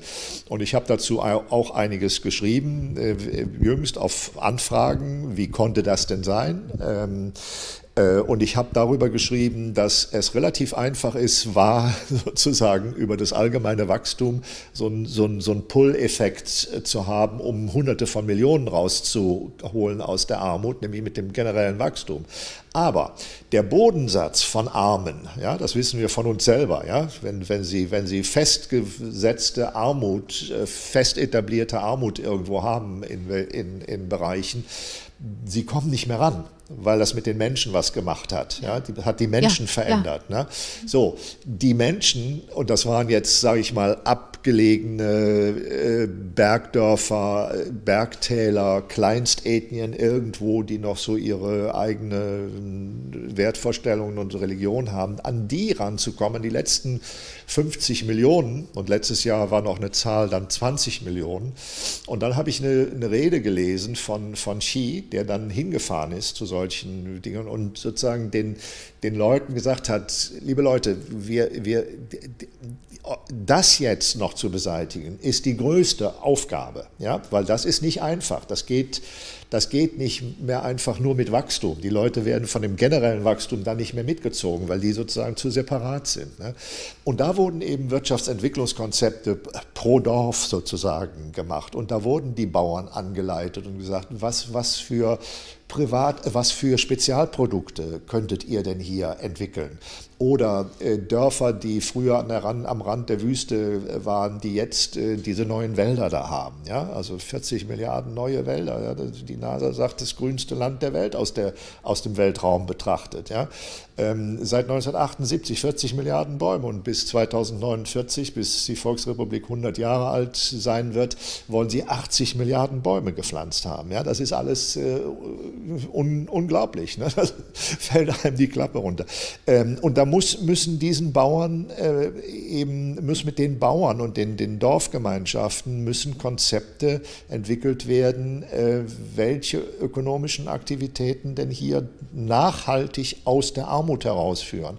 Und da ist eben zum Beispiel äh, sind Konzepte von, von, ähm, von grünem Tourismus entwickelt worden. Der Bauer, der jetzt unter anderem in seinen neuen Wäldern der der Tourismusguide äh, ist, ja, und äh, die, die junge Frau, die aus Shanghai kommt und über Ant Forest ähm, äh, ihre drei Bäume da hat, ja, die will die nicht mehr nur über die Drohnenbilder sehen, kann man nämlich, ne, sondern die will ihre drei Bäume mal anfassen. Ja? Das ist ein neuer, eine neue Art von Tourismus. Ja? So, und das sind eben Konzepte von, ich sage mal, ganz konventionell Wirtschaftsförderung. Ich war selber zehn Jahre Wirtschaftsförderer außerhalb von Akademia, also lokaler und regionaler Wirtschaftsförderer, und weiß, wie schwierig das ist, sozusagen an den Bodensatz ranzukommen. Da, wo die Verhaltensweisen, die Erwartungen, die, die Zukunftsvorstellungen der Menschen verändert werden müssen. Ja? Dass aus einer negativen, passiven, deprimierten Haltung heraus was Fortschrittliches kommt, ne? also ein Optimismus und mhm. Vertrauen in sich selber auch. Ne? Und das ist gelungen. Also das ist also diese Armutsbeseitigung ist einfach äh, selber nochmal eine ein Krimi, ein schöner Krimi, sage ich mal. Oder ein richtiger Roman. Ich denke an Makarenko, äh, der ja. die Straßenkinder äh, nach der Revolution äh, zusammengeholt hat und hat ihnen hat ihnen Hoffnung gegeben und Selbstwertgefühl. Ja. Also ist, äh, wobei eben, wenn ich das denke, dann denke ich, na, das ist ja märchenhaft. Wie soll denn das gehen? Da müsste ein ungeheurer Aufwand, also Leute, die da hingehen und die dort also Vertrauen schaffen, Hoffnung sehen, und lauter diese Dinge, ja. Genau, genau. Und das ist eben auch, äh, da, kommt nicht, da kommt nicht eine Dampfwalze an, äh, sondern da kommt der Staatspräsident mal und sagt und, und hält eine Rede vor Bauern, äh, vor NGOs, vor äh, Leuten aus den Umweltagenturen, ja, vor Baumpflanzern, Agraringenieuren, äh, Wüsteningenieuren und so weiter. Ja, die, die gesamte, das gesamte Wissen koordiniert äh, ist da, um diese letzten Zipfelchen sozusagen äh, aus der Armut rauszuholen. Das ist das, was in den letzten zwei Jahren passiert ist. Das ist eigentlich eine Story, die mich am allermeisten fasziniert hat, ja, ja. weil das hat mich auch nochmal selber angesprochen als Wirtschaftsförderer, ähm, ehemaliger Wirtschaftsförderer, der ich mal war, äh, weil ich weiß, wie schwer es war, an den Bodensatz eben der Langzeitarbeitslosen zum Beispiel ranzukommen. Mhm. Ne? Ähm, und da haben wir so, so, so, gut wie kein Instrument. Und das ist faszinierend zu sehen. Und das ist eben auch das Systemische an dem Ganzen, ja, zu sehen, ähm, wie qualifiziert die öffentlichen und auch die kollektiven gesellschaftlichen Akteure sind. Ne? Also bis hin runter zu den Shekus, den, den Wohngebietsgruppen, die jetzt eine Riesenrolle bei, äh, bei der, äh, in der Epidemie da letztes Jahr bei der Corona gespielt hat, ne?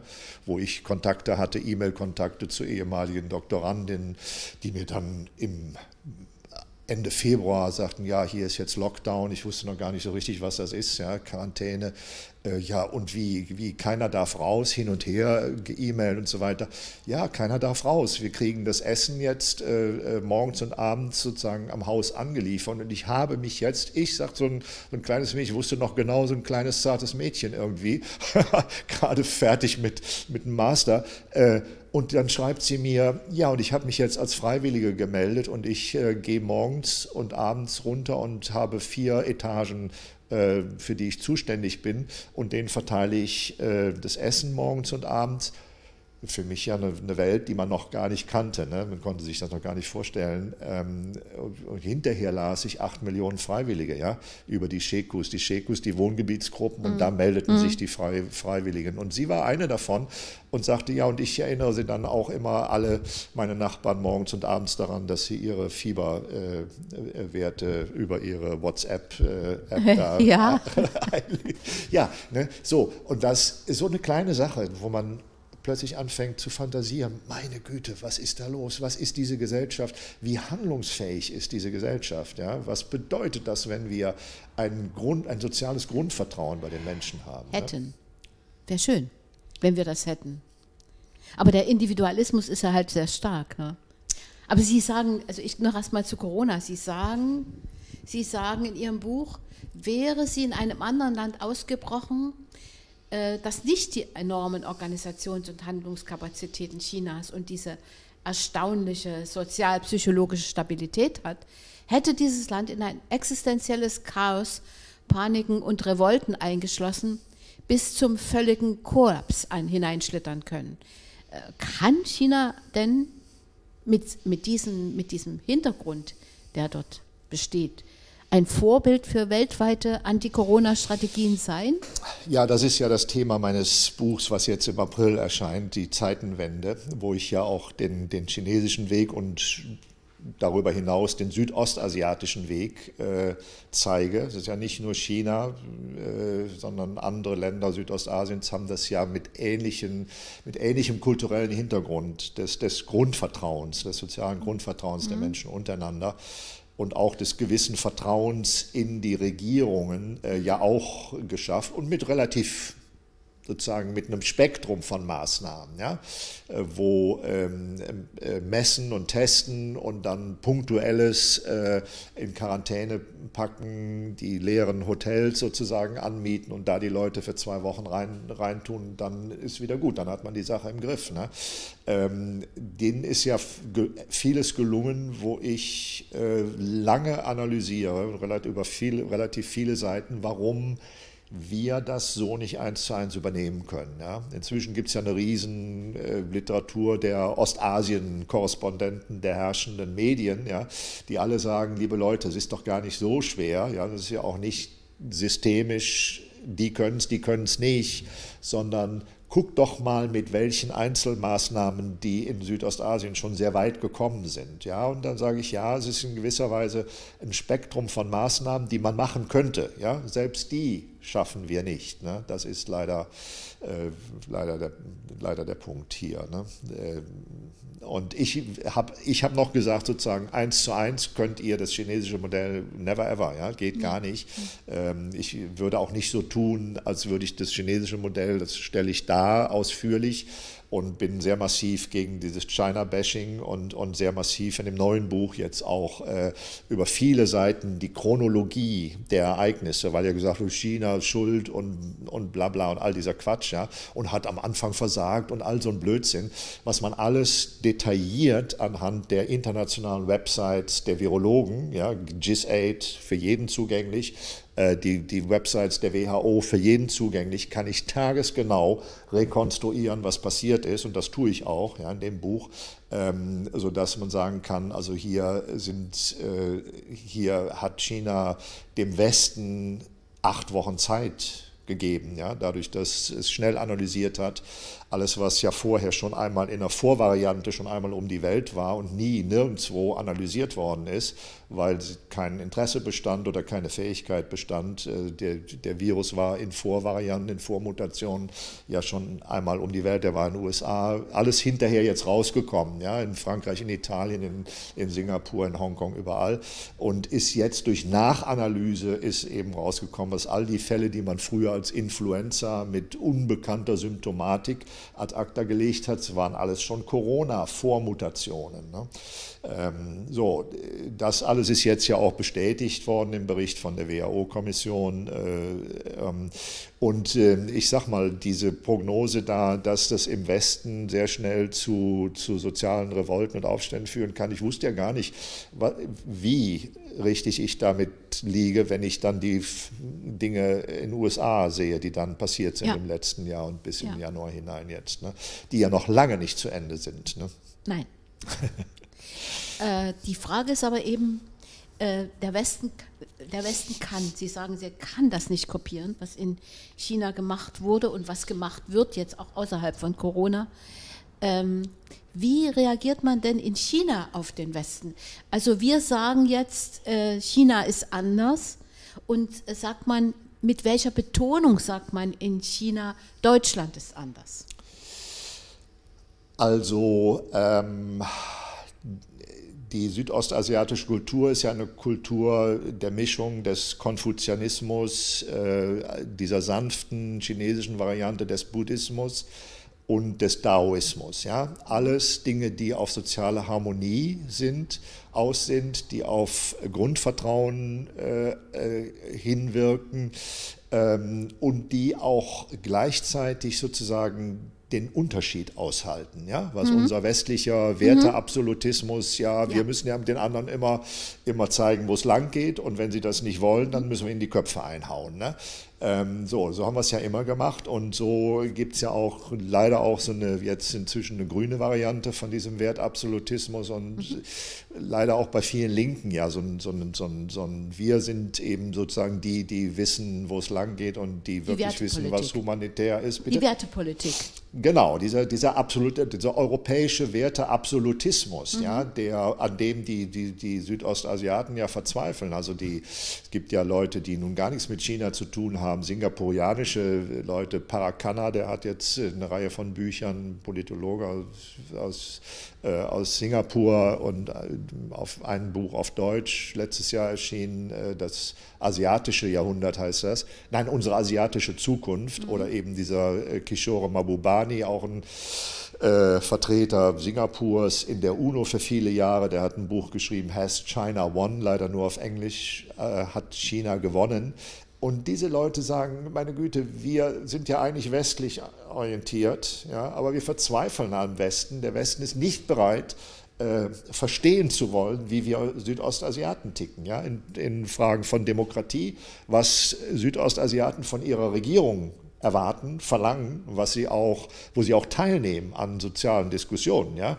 Und die Regierungen, einschließlich China, die müssen reagieren, sie müssen responsiv sein. Ja?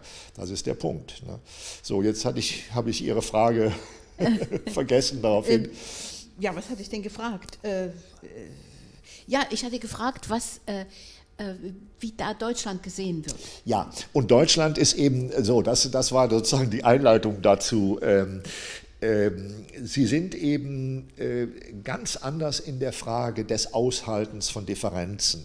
Ja? Es ist äh, völlig klar, dass, dass der andere eine andere Haltung haben kann. Ja? Und trotzdem bin ich interessiert an ihm, ja? Mhm. weil diese Auseinandersetzung, Yin und Yang, ja, so, ne? Mann, Frau, Ausländer, äh, Asiater, Europäer, das finden die spannend, ja, mhm. und deswegen sind die immer interessiert, ja, sie werden zig Fragen kriegen sie gestellt als Ausländer in China, ja, wie ist das in Deutschland, ähm, wann, äh, viele waren ja, reisen ja jetzt auch selber und sind interessiert, interessiert, interessiert und kommen, ja, wie macht ihr das mit Industrie 4.0, wo sind, bis hin in die Wissenschaft, ja, meine Kooperations Gesprächspartner. Ich bin international sehr stark vernetzt gewesen, jahrzehntelang in den USA, nach Westen, jetzt im letzten Jahrzehnt eben auch nach Osten. Ähm, und da wird immer die Frage gestellt, wo können wir, wo haben wir einen gemeinsamen Anknüpfungspunkt? Können wir kooperieren? Win-win, wo ist da was? Ne? Und die Deutschen speziell haben eben immer noch ein ganz großes Ansehen in China. Ja? Mhm. Und es ist eben auch so, die Chinesen wissen mehr über Deutschland als wir über China. Ja? Mhm. Es hat, äh, war eine mhm. interessante Geschichte, Berliner Ensemble, äh, glaube ich, war das, ähm, hatte in der Quarantäne letztes Jahr gesagt, wir haben uns unsere Aufführung digital gestellt und äh, dann der Intendant hatte da ein Interview hier in einer Mainstream-Zeitung bei uns ähm, und sagte, ja, und was glauben Sie jetzt nach, nach sechs Wochen, äh, wo wir die meisten Zuschauer haben? In China. Man stelle sich das mal vor, ja, ein chinesisches äh, Ensemble stellt alle seine Produktionen online und dann sagt er nach zwei Wochen, wir haben die meisten Zuschauer in Deutschland. Ja, unvorstellbar. Hm. Noch. Hm. Hm. Ah, das klingt alles ganz begeistert bei Ihnen. Also man denkt, man möchte da eigentlich auch mal hinreisen. Unbedingt, ja? unbedingt, ja. unbedingt. Bei ja. nächster Gelegenheit, äh, sage ich jedem. Ja, ja und, aber Sie haben auch das Gefühl, also wenn Sie jetzt immer mal dort sind, Sie könnten dort auch leben, ja? Oder, oder würden Sie, oder würde Ihnen auch etwas fehlen? Was würde Ihnen fehlen? Ich versuche jetzt so ein paar Unterschiede noch auszuloten. Mhm. Also inzwischen ist es tatsächlich ein geflügeltes Wort zwischen meiner Frau und mir. Ne? Wir gehen nach China. Ne? Ah. Ja, ja, ja, ja, ja. Äh, irgendwann mal kam so der Gedanke auf, aber es ist mehr so ein Gedankenspiel. Wir würden es natürlich nicht machen, ja? weil wir, man weiß es nicht wir, also es ist natürlich immer verbunden mit der Fantasie, was passiert hier noch alles. Ja? Wird man irgendwann mal gehen wollen? In meinem Alter geht man nicht mehr, das ist klar. Aber ich war überrascht zu sehen und seit sechs, sieben Jahren achte ich jetzt ganz bewusst darauf äh, und bin immer wieder überrascht, wie viele Deutsche in China sind. Ja? Mhm. Ich habe bei Corona das alles ja monatelang durch, die, durch das weltweite Internet durchverfolgt, alle Dokumente und so weiter sortiert, jetzt für das zweite Buch, ähm, und, und festgestellt, wie viele deutsche, amerikanische Ärzte in China gearbeitet haben. Ja, weil die natürlich, du kriegst sofort eine Einladung, ja, du, die sind so daran interessiert, komm hier ne, und arbeite hier und du kannst äh, mit uns und so, dann gehen die wieder rüber. Und das ist natürlich hervorragend, weil diese Ärzte äh, denen ist der Kragen geplatzt bei diesem ganzen China-Bashing. Ich habe da ein halbes Dutzend amerikanische Ärzte zitiert, die China kannten, die selber auch am, am äh, Wuhan Institute of Virology ähm, gearbeitet hatten ja, und gesagt haben, was ist das für ein, für ein hirnloses äh, äh, Zeugs, was hier unsere Medien verbreiten. Ja. Ne, so, und äh, dann qualifiziert geantwortet haben. Ähm, es würde fehlen sozusagen natürlich die Sprache. Die Kultur ist, glaube ich, schon fast weniger ein Problem. Ähm, das würde man hinkriegen. Also diese, diese, diese Haltung, äh, offen sein, interessiert sein am anderen. Ja? Ähm, dann sind sie sehr diskussionsfreudig, dann äh, lassen sie sich auch dieses, nicht die Butter vom Brot nehmen. Ja? Also ich habe das jetzt, äh, habe ja Doktorandinnen und Doktoranden drüben, gehabt. Einige sind jetzt in hohen Positionen. Einer, äh, mit einem habe ich jetzt nochmal gemeldet, der schrieb mir, ja, wir haben jetzt in Shanghai, der ist hoch in der Wirtschaftsförderung in Shanghai, ähm, und schrieb mir, ja, wir haben jetzt auch ein neues ähm, Sozialkreditsystem eingeführt in Shanghai und jetzt stellen die uns 20 Tonnen vors Haus. Und dann haben wir erstmal alle protestiert. Und dann habe ich nochmal nachgefragt, du als hoher Beamter in Shanghai darfst protestieren? Ich sagte, ja, meine Frau und ich, wir haben da E-Mails geschrieben, ob, ich, ob wir denn jetzt noch Chemie studieren müssten, um die 20 Kalorien da, daraus zu, äh, zu, äh, zu analysieren. Ähm, und ähm, lange Rede, kurzer Sinn, vor ein paar Wochen habe ich nochmal nachgehakt. So. Was sind für Tonnen? Das habe ich jetzt nicht Mülltonnen. Mülltonnen, Mülltonnen. sorry, äh, so. Abfallsortierung. Ja, ja, ja, es ging um Abfallsortierung. Plötzlich 20 verschiedene äh, Kategorien von Abfällen sollten so, die dann ja. da unterscheiden. Bekamen dann so ein kleines, so ein kleines Heftchen in die Haushalte ja. und haben gesagt, so geht das gar nicht. Ne? Mhm. Und äh, dann habe ich nochmal nachgefragt, jetzt dann gingen, waren drei Monate vorbei und dann habe ich gesagt, wie, was ist denn daraus geworden aus eurer Geschichte? Ja, sie haben es zurückgenommen. Das System ist wieder einkassiert worden, weil der Widerspruch war zu groß und es wird überarbeitet. Und auf der anderen Seite sagte er dann aber, aber wir sind auch, haben uns auch entwickelt. Wir, wir gewöhnen uns daran, die Dinge noch deutlicher zu, ja. zu differenzieren. Ja. ja Mensch, habe ich gedacht, das ist eine Dialektik. Ja? ja. So muss Dialektik sein. Ne? Mhm. mhm. Ich mache jetzt noch mal einen Sprung zu den internationalen Beziehungen. Sie haben vorhin davon gesprochen, dass äh, die Beziehungen zwischen Russland und China sehr eng seien. Ich lese das auch immer, aber wie verlässlich sind diese Beziehungen denn? Ja, ich glaube, von beiden Seiten ist das inzwischen eine strukturelle, langfristige äh, äh, Kooperationsbeziehung geworden. Sie haben ja auch gesagt, es gibt, also beide sagen ja, es ist eine strategische Allianz.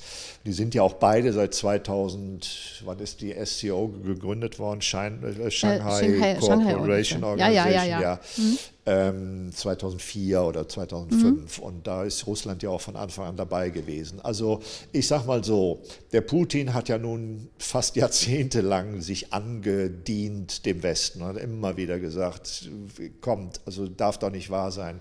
Ihr habt jetzt den 4 plus 2 Vertrag äh, gebrochen und ihr rückt hier an unsere, an unsere Grenzen ran. Und ähm, so, und jetzt, äh, dann kam diese Krim-Geschichte, jetzt macht ihr noch ein einen Putsch da, eine Orange Revolution in, in Kiew, da in, in der Ukraine ähm, und äh, wollt uns da jetzt ans Schwarze Meer und von da uns auf die Pelle rücken. Ähm, äh, lasst uns doch reden. Ja? Mhm. Gleichzeitig kündigt ihr einen, einen der Abrüstungsverträge nach dem anderen, ja? alles aus den 80er Jahren, alles weg, mhm. bis auf jetzt dieses INF-Abkommen, was, was äh, Biden jetzt nochmal für fünf Jahre verlängert hat. Ansonsten ist ja alles weg, ne? Mhm. alles weg. So, ähm, ich sag mal, irgendwann begreift auch der Gutmütigste, äh, dass das keinen Zweck mehr hat. Ne? Inzwischen mhm. hat der Lavrov, der Außenminister Russlands, hat ja nun klare Kante jetzt gesagt, mhm. Äh, EU ist unzuverlässig. Man kann diesem Land, diesem, dieser EU nicht mehr vertrauen. Ja? Ähm, und auf der anderen Seite ist es eben so, ich bin selber aus allen Wolken gefallen, als ich irgendwann mal zufällig las beim Bücherschreiben, ähm, dass sich äh, Putin und Xi schon, ich weiß nicht, letztes Jahr, Mitte letzten Jahr 30 Mal getroffen hatten, habe ich zurückgerechnet, die treffen sich im Schnitt jeden zweiten Monat. Davon hört man gar nichts. Ja.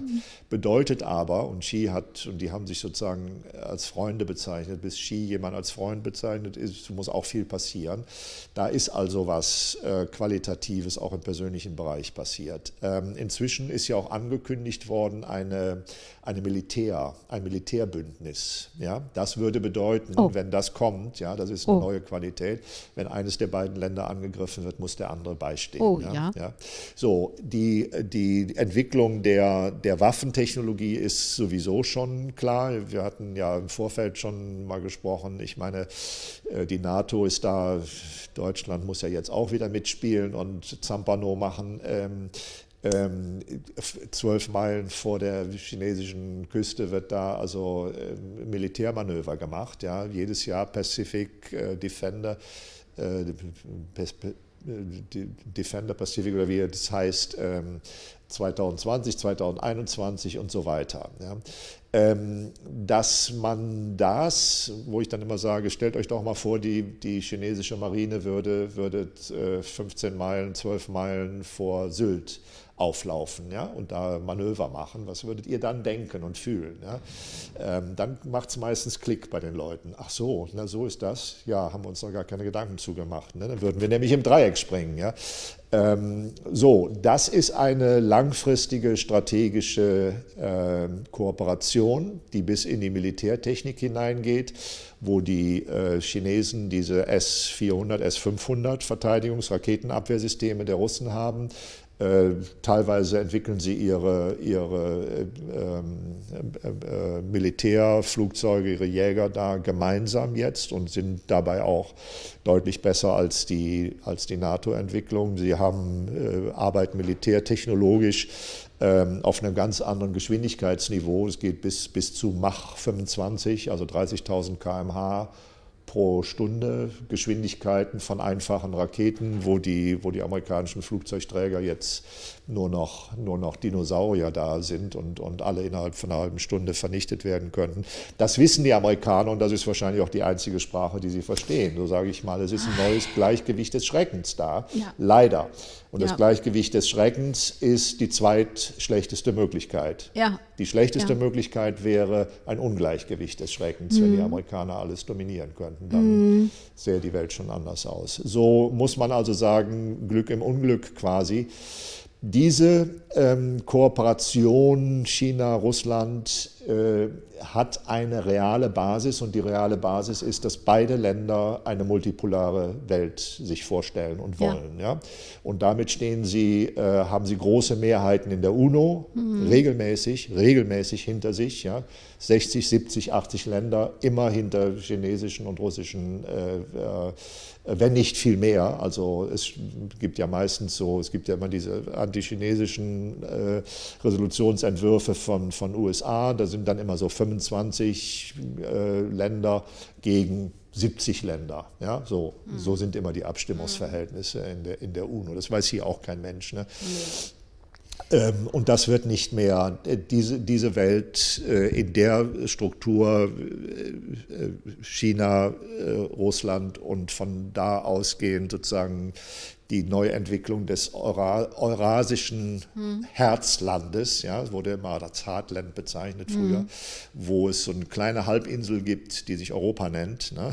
So, das ja. ist nicht mehr wegzukriegen. Das ist die neue Welt. Und die wird, hm. wird neu aufgebaut werden, ähm, bis hin zu allen technologischen Fähigkeiten, Chipproduktion in den Ländern, die Sie vorhin genannt haben, äh, über die Seidenstraßen äh, wird das vermutlich in 10, 20 Jahren das Zentrum, das wirtschaftliche Zentrum der Welt sein.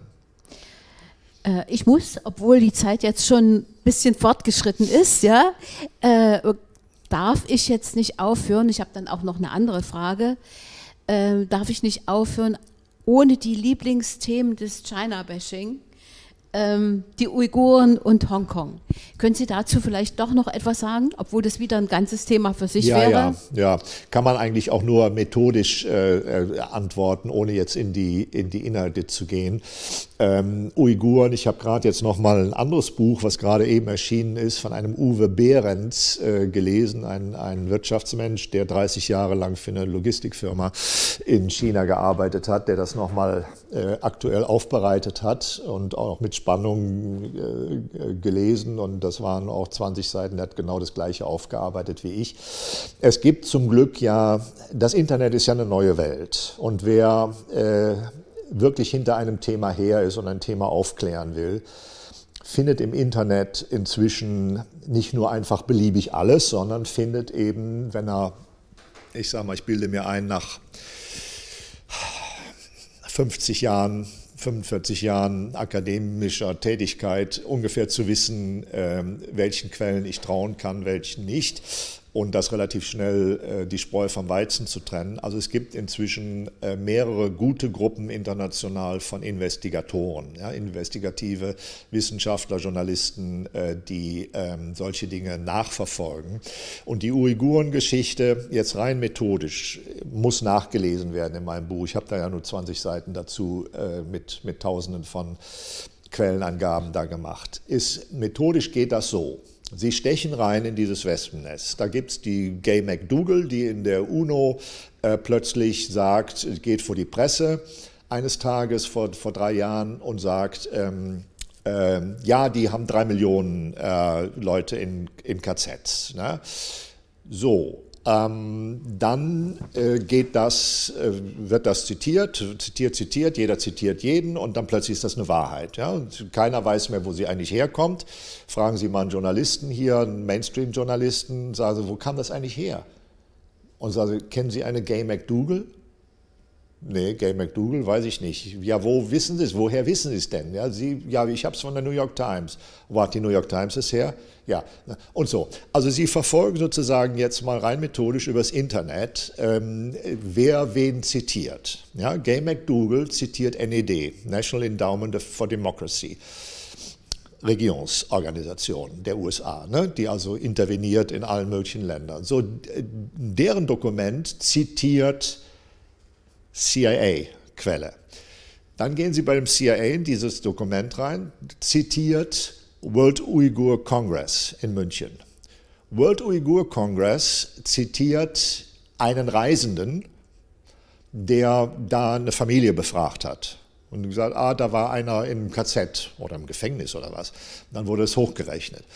Dann ähm, ähm, gehen Sie zurück, dann gibt es eine Quelle Adrian Zenz, dieser Mensch, der vom, von Gott geleitet wird in seinem Kampf, der noch zugegebenermaßen noch nie in Xinjiang war, ähm, aber alles weiß darüber, ne, ganz genau, wie viele Millionen da ähm, äh, im KZ sind. Und äh, dann stoßen Sie sozusagen jetzt, ähm, stoßen Sie zum Beispiel bei, sogar bei CIA-Berichten, wo dann das ganze Internet lacht oder jedenfalls die Leute lachen, plötzlich gesagt wird, die, Geheim, die, die amerikanischen Geheimdienste machen sich noch nicht mal mehr die, die Mühe, äh, vor Ort selber zu recherchieren, sondern die zitieren dann plötzlich die, die New York Times. Ja? So, also sie kriegen keinen Grund rein, ja, zum Beispiel, also sagt, äh, nachdem die Gay McDougall angeblich als Mitglied eines, äh, eines UN-Ausschusses für Menschenrechte, die gar nicht ist, das ist ein kleiner Unterausschuss gewesen, der informell ist, der gar nicht beschlossen worden ist von der, von der UNO-Vollversammlung, äh, sagt sie da was, stellt das in den Raum sie ist ja auch keine Unbekannte, sie ist ja auf der Paylist von, von George Soros und da, ne, also, ähm, aber auch ähm, im amerikanischen, in amerikanischen Ministerien äh, angestellt. Und zwei Tage später stellt sich der, der UNO äh, äh, hohe Kommissar für Menschenrechte vor die Presse und sagt, diese Dame hat etwas gesagt, zu dem wir nicht die geringsten Unterlagen haben. Wir können das als UNO nicht bestätigen. Sie hat nur für sich gesprochen, obwohl sie gesagt hat, sie würde für den Ausschuss sprechen, aber dieser Ausschuss existiert so nicht. Sie hat Wir haben keinerlei Erkenntnisse darüber, dass das stimmt, was, was die Dame sagt. Diese Aussage des Hohen Kommissars für Menschenrechte der UNO ist von keinem westlichen Medium gebracht worden. Ja?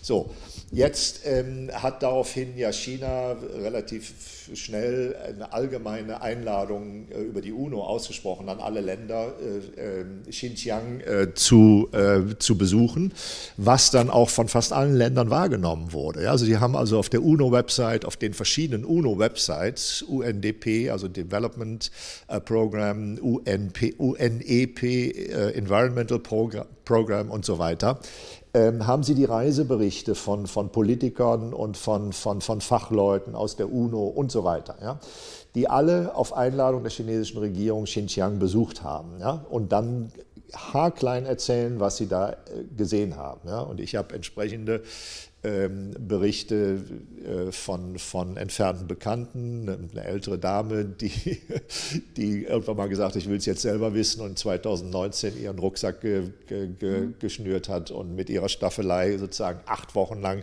durch Xinjiang gereist ist, ja, und dann mhm. in die Bremer Stadtbibliothek kam und da einen öffentlichen Vortrag gehalten hat und gesagt hat, Stimmt ich komme mit was alles. ganz anderem wieder, mit ganz anderen ja. Eindrücken, als ich hingefahren bin. Ja. ja so.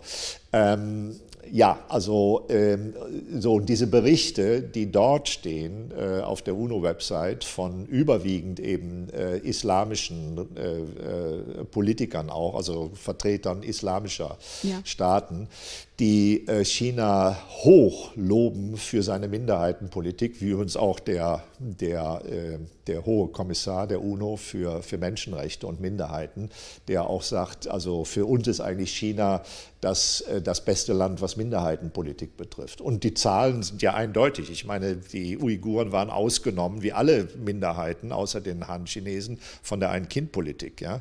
Äh, Gucke ich die Zahlen an, dann sehe ich, dass, die, dass der Bevölkerungsanteil äh, der Uiguren äh, in der chinesischen Gesamtbevölkerung deutlich gestiegen ist. Ja? Es sind inzwischen 12 Millionen äh, Uiguren. Ja? Und es waren vor ein paar Jahren, weiß ich noch, als ich anfing zu recherchieren, da waren wir 10 Millionen mhm. Uiguren. Jetzt sind es 11,8 oder sowas. Ne? Also das ist, glaube ich, mit Völkermord nicht ganz zu vereinbaren. Ne?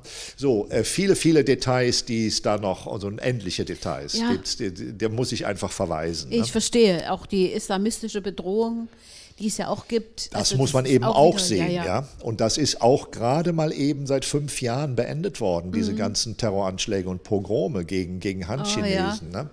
Ähm, das ist eine ganz aktuelle Geschichte. Die letzten großen äh, äh, Pogrome gegen Han-Chinesen durch infiltrierte ähm, aus Syrien zurückgekommene mhm. ähm, äh, islamistische, also Dschihadisten und äh, Terroristen, und die waren ja sogar auch in Syrien, waren ja die Turkmenen äh, mit die äh,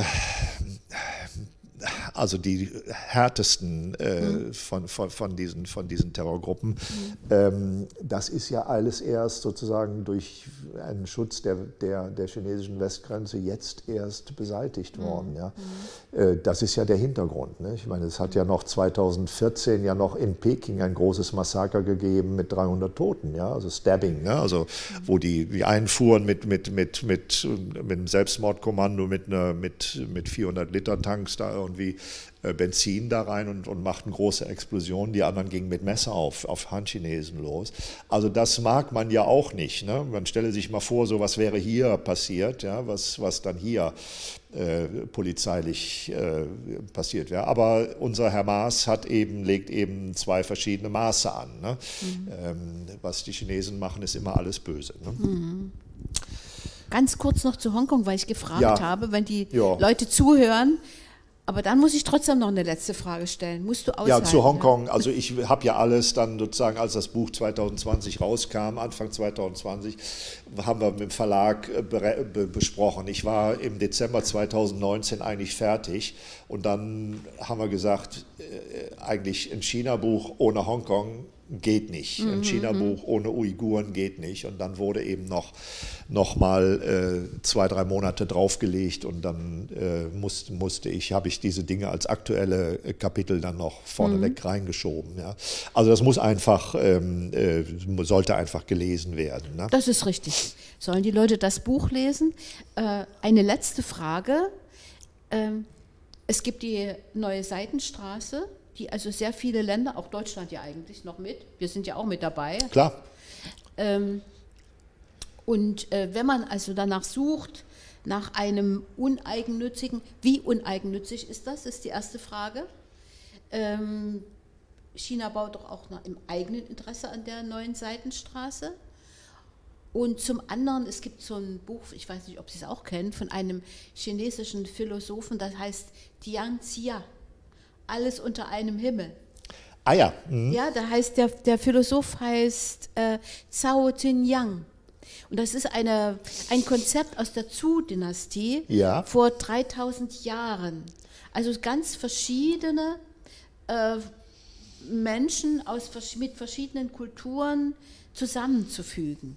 Ja. Ähm, das klingt wie eine Vision einer ja. neuen Weltordnung. Ja, das ist tatsächlich ja ähm, auch, in China ist ja ein neues Geschichtsbewusstsein da. Ne? Und es ist ja auch ein neuer Rückgriff auf, auf eben 5000 Jahre Kultur und einheitliche Nation und so weiter. Ähm, und insofern wird auch auf, alte, auf altes Gedankengut, altes Wissen zurückgegriffen. Das finde ich sehr sympathisch, also ein ganz umfassendes Geschichtsbewusstsein. Und ähm, wenn Sie mal gucken, was ähm, ich springe sozusagen, äh, einfach nur um, um Aspekte zu zeigen, ähm, was auf den, was auf den, äh, auf den Paketen der Lieferung nach, nach Norditalien stand, als die ersten äh, paar Millionen Masken hier rüber geschickt wurden durch die Luftbrücke von China aus. Ja. Da, da, stand eben drauf, teilweise handgeschrieben, wir sind Kinder der gleichen Welt, wir leben unter einem Himmel, wir sind, wir sind mhm. Menschen im gleichen Garten und ja. so weiter. Ne? Das heißt ja. also, ähm, und ich weiß das, ich habe selber von, von chinesischen Kolleginnen Masken geschickt bekommen in der Zeit, als meine Frau anfing, die ersten äh, Masken für uns im, im März selber zu nähen. Ja? Schrieb, schrieb die schnell, braucht ihr Masken? Gesagt, naja, wir fangen jetzt an selber. Und zehn Tage später hatte ich da 200 Masken, ja, professionelle FFP2-Masken. Ne? Ähm, und ich weiß von Städten, Städtepartnerschaften, ich weiß von Gewerkschaften, wo die Gewerkschaft da und da zur Gewerkschaft hier Nordrhein-Westfalen geschickt hat und so weiter. Also ähm, da ist, ähm, und da standen auch, äh, sagen wir Che-Zitate drauf, ja, auf den Paketen. Diese Bilder gab es, die waren nur ganz schnell raus aus unseren, aus unseren Medien, ja, das, weil das passt ja nicht in die Welt. Ne? Ähm, also da ist was sehr Herzergreifendes, was, wo ich inzwischen aus eigener Erfahrung weiß, dass die Chinesen so denken und fühlen, ja. Äh, dass die das ernst meinen. Ne? Und äh, sie, sie kennen eben auch, sie wissen, wer Che ist. Ja? Mhm. Ne? Und wer hilft Nicaragua und wer hilft Kuba äh, momentan? Ja? Also China hat da 100, 100 Millionen reingesteckt nach in, in, in Nicaragua, in, in, in, sorry, in Venezuela. Ähm, naja, und so. Also ähm, ja. Es, sie können ganz anders umgehen, ähm, die Südostasiaten, glaube ich, insgesamt. Ich war auch in Taipei natürlich, ich habe Taiwan, taiwanesische Kollegen, die mich auch eingeladen haben. Also ich kenne auch sozusagen diese Seite.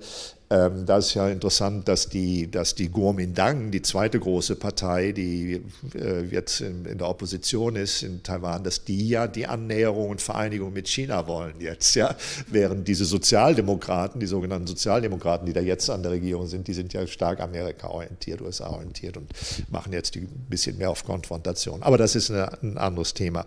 Aber sie, ähm, sie können mit Unterschiedlichkeit eben ganz anders umgehen als wir inzwischen. Hier ver, ver verrottet ja die Kultur ein bisschen. Sie kriegen ja keine politische Diskussion mehr hin, wo es nicht sofort äh, beinhart wird und aggressiv und, und, und in den USA kriegen sie sofort eine Drohung an den Hals und so weiter. Ja. Ähm, und das ist eben sowohl in, der, in den Nachrichten wie in den Zeitungen, da kann man auch sozusagen in Ruhe sich hinsetzen, mal in eine Hotellobby und eine Zeitung und einen Zeitungsartikel in Ruhe lesen, hat das Gefühl, ah Mensch, das sind gute Gedanken da drin. Und so entspannt und wohlwollend, ja, ist mir eigentlich jeder Chinese vorgekommen, ja. Also jeden, den ich angesprochen habe, ne, äh, und der drei Worte Englisch konnte, ähm, Interessiertheit und ein Wohlwollen und keinerlei ähm, Fremden, äh, Be Fremdenbefremdlichkeit, sage ich mal, oder äh, schon gar nicht Rassismus. Ja? Also die, die sind mit ihren 56 ähm, Ethnien, die sie haben, äh, davon 55 Minderheiten, ja, ähm, leben sie so selbstverständlich, ja, wo, wir, wo ich immer sage, meine Güte, wäre wär ich mal froh, wenn wir mal so, wieder so weit wären. Ja. Aber der Imperialismus äh, hat nichts mehr zu geben und äh, kann eigentlich nur noch in seinem Niedergangskampf ähm, muss gucken, dass er die Aggressionen noch gerade eben sozusagen im, im Griff hat. Bändigt. Bändigt, ja, ja, ja, ja. Und wenn ich, wenn ich das als letzten Satz mal sagen darf, ich sehe eben zunehmend unsere Gesellschaften auch gespalten. Und zwar gespalten, äh, äh, Brückenschlag zurück zum Anfang, in Leute, die in China waren und die zurückkommen, Ingenieur, äh, Techniker, auch mal ein normaler Arbeiter da, dazwischen, der fährt nun nicht Business Class. Ich fahre auch nicht immer Business Class, sitze ich auch schon mal mit, mit, neben einem Arbeiter und dann kommt man auch so ins Gespräch und so. Ähm, zwischen den Leuten ja, und den Konzernen, auch unseren Konzernen muss man ja auch sagen, die ohne China ja gar nicht mehr leben könnten. Ja, und sozusagen dieser transatlantischen neuen politischen Sammlungsbewegung, die äh, offensichtlich beeindruckt sind. Ah, toll, der Trump, der zeigt den Chinesen mal oder so. Ja, ich weiß nicht, was für eine Art von Bewunderung da ist. Also diese Spaltung unserer Gesellschaft zwischen den Leuten, die es konkret erfahren haben und unseren Medien und äh, vielen Politikern, die selber noch nie in China waren und es glauben es nun auf Biegen und Brechen, also Bashing machen zu müssen. Ja, das, das ist eine Spaltung, das ist eine ganz klare Spaltung ne, in unserer Gesellschaft. Ja, also diese Spaltung können wir überwinden, wenn wir dieses Buch lesen. also mehr Wissen, äh, Wohlwollen, ja, eine Gesellschaft, in der Wohlwollen herrscht, das wäre paradiesisch. Das wäre paradiesisch.